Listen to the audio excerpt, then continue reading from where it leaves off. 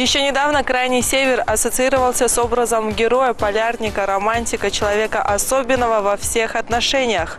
Съезжались люди с матушки России в крайне обжиты строить города. Их не пугали ни мороз, ни мошки злые. Они приехали, чтобы поселиться навсегда.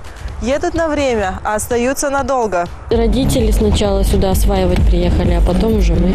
Мой муж отсюда, и как бы поэтому приехала сюда. Очень давно тогда мы еще при Союзе сел-то поехал, свобода была. Ну, ну, сначала узнать, и на три дня как... А, на три года. Ну и потом пришлось вот эти все 30 лет. 79 -го года. Мы тут уже выросли, и даже уже и дети, и внуки, и правнуки уже появились. Мы приехали сюда, как все приезжают, на год, на два, на пять машину заработать. А остались уже 25 лет на пенсии работаем. По совету наших друзей с Украины, ну, мы приехали на один годик. И так на север затянуло, остались мы вот уже, уже 20 лет мы здесь на севере. Приехала просто к знакомым и зашла э, в стоматологию. Э, и все, в общем-то, сразу в охапку, и не дали уже сорваться. Я думаю, многие согласятся, что жизнь на Крайнем Севере непростая. Суровый климат, полярная ночь. Далее только лед, снег и вечная мерзлота. Ни следов человека, никаких раскопок, никаких руин. Но несмотря на трудности, Север и сегодня притягивает людей. Нефтяная и газовая промышленность, рабочие места, небольшие города и поселки. А чего же здесь все-таки больше, плюсов или минусов? Город очень красивый. И то, что холодно здесь, э, вообще никак не влияет. А минусы... Минусов мало. Как бы я их не вижу пока, потому что сижу дома с ребенком. И особо таких не заметила. Минусы, конечно, в климате. Хочется побольше тепла. А плюсы, наверное, более высокий заработок. Это, мне кажется, самый главный плюс на сегодняшний день. Скажем так, из плюсов я отнес бы красивую, богатую природу. Э, К минусам я бы отнес э, слишком суровые холодные зимы. Ну, лучше здесь во всем. Кажется, и детям хорошо, все вы- выросли, выучились, и уже все взрослые. Ну, и мы с мужем. Плюс магазина, плюс все доступно. Нет, нет дефицита, есть все были только деньги. Раньше овощей свежих Овощей не было, ни мяса фруктов не было, колбасы не было, ничего ни не было, лука, ничего.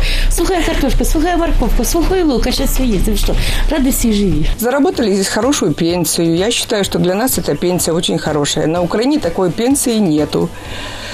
Вот. Ну, и получили здесь квартиры, дети здесь выросли, внуки у нас здесь растут. Что север, конечно, нам очень помогает во всем. Людей на севере формируются особые качества.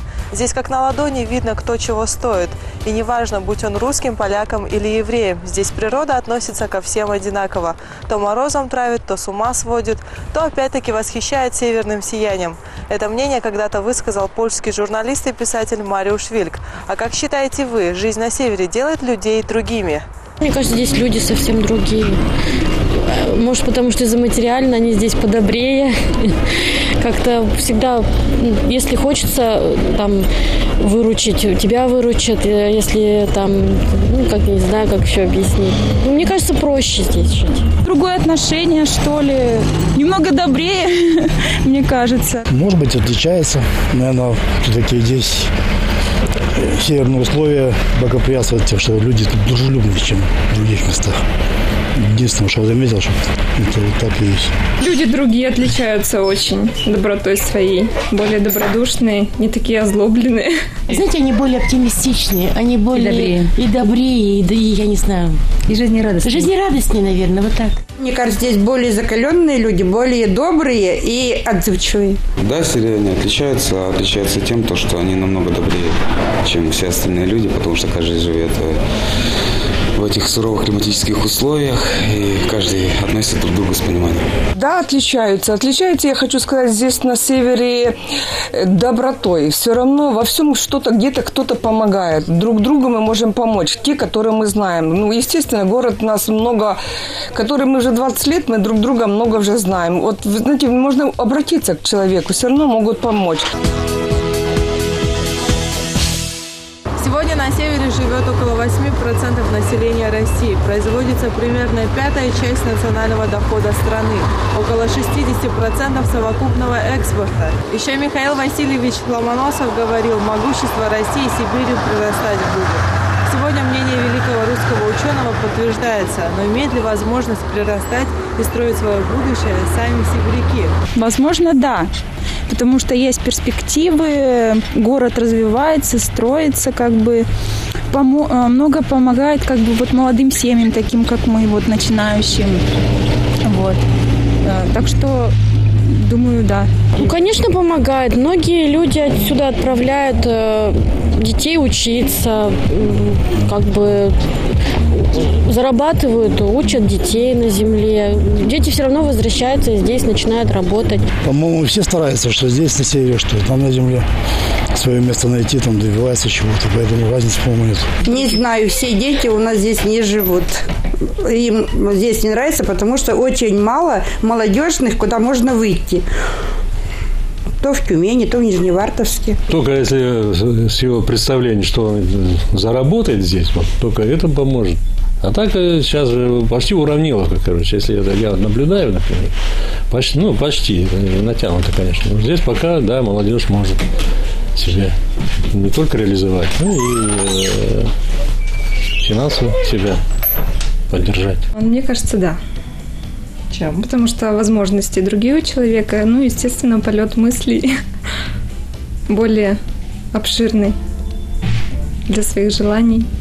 Если есть возможность, то и можно воплотить свои желания. Какие ставки сейчас делает наш президент и Ниелов? Вот бывали. Не Ниелов, а этот, скажи так быстренько, молодой наш, этот... м, Кобылкин. Кобылкин. Какие разговоры идутся, какие переговоры, какие ставки делаются на наш Ямал? Говорю, что, конечно, конечно, Газпром, газ есть, будем жить. Дети мои-то здесь и внуки мои здесь. Ну, конечно, уже, чтобы сказать, что север помогает им, север, конечно, тоже уже уступает. Мы, как старшее поколение, мы уже здесь заработали пенсию. Теперь, что делается с пенсией, мы не знаем. Как наши дети, как наши внуки заработают здесь на севере, мы это не знаем. Строить, не строить, это больше зависит, мне кажется, от государства, как оно заботится о своем населении. Жизнь тасует нас как карты, и только случайно, и то ненадолго мы попадаем на свое место. Как-то сказал великий русский писатель Максим Горький. Приехав на север однажды, мало кто быстро вернулся на большую землю. Хотя, возможно, и хотел. А как сегодня ответят горожане на вопрос, хотели бы вы уехать с севера? Нет, мне страшно почему-то. Мне как-то здесь стабильнее себя чувствую, чем э, на земле. Я туда приезжаю в отпуск, мне так как нормально, но все равно тянет обратно. Я приехала, мне здесь очень нравится. Нравится то, что здесь столько много снега, красиво очень, как будто бы всегда Новый год. Ура, ура! Везде эти огоньки, снежинки, елочки и все такое. На пенсию уйду, перееду. А так-то пока нет, пока работаю.